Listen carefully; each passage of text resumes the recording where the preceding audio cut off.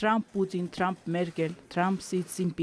Putin, May, Պուտին Մերկել։ Սրանք ճապոնական Օսակայի առանցքային հանդիպումներն են, որոնց վրա էր սևեռվեց համաշխարհային մամուլը։ Հանդիպումների քաղաքական օրակարգը գլխավորում էին Իրանն ու Ուկրաինան։ Գերմանիայի կանցլեր Մերկելը Չինաստանի նախագահի հետ համաձայնել է պահպանել Իրանի միջուկային գործարքը։ Նույն դիրքորոշումը Մերկելը հայտնել է ԱՄՆ նախագահի հետ հանդիպմանը։ Թրամփը Տեհրանի հետ լարվածության հարցում կոչ արել չշտապել եւ սպասել հետագա զարգացումներին, որոնք ըստ նրա դրական կլինեն։ Իդեպ Ճապոնիայի վարչապետին, որն անցած շաբաթ Տեհրանում էր, այդպես էլ չհաջողվեց Իրանին մասնակից դարձնել 20-յակի գաղտնաժողովին, որի շրջանակում Սինձո Աբեն նախատեսել էր կազմակերպել Թրամփ-Ռոհանի հանդիպումը։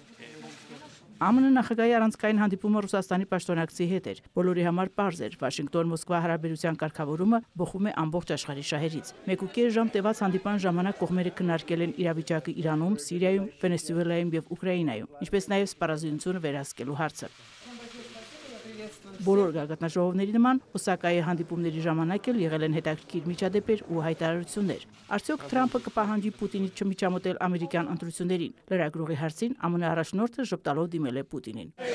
Խնդրում եմ, մի միջամտեք ընտրություններին։ Թրամփն ընդունել է Պուտինի առաջարկը մասնակցելու Մոսկվայի մեծ հայրենականի 75-ամյակին նվիրված միջոցառումներին։ Մասնակցության հրավեր է ստացել նաև Ֆրանսիայի նախագահ Մակրոնը, որը Պուտինին բարևել է ռուսերեն։ Զրույցն էլ ընթացել է անմիջական դույով։ Չինաստանի նախագահի հետ հանդիպումից գոհ է մնացել ԱՄՆ նախագահը։ Թրամփն այն հիանալի է որակել եւ ասել, որ ճիշտ ուղու վրա են։ Կողմերը համաձայնել են վերսկսել բանակցությունները առևտրի շուրջ։ Սպիտակ տան ղեկավարը հերթական անակնկալ է մատուցել հայտարարելով, որ պատրաստ է հանդիպել Հյուսեյն Կորեայի առաջնորդ Կիմ Չեն Ընի հետ։ Բարեկամական ձեռքսեղմումը կարող է տեղի ունենալ երկու կորեաները բաժանող գոտում։ Պենյան այն հետաքրքիր առաջարկ է համարել։ Kim would want to meet, I'll be at the border. Եթե Կիմը ցանկանա հանդիպել, ես կլինեմ սահմանի մոտ։ Կարծում եմ մենք միմյանց կհասկանանք։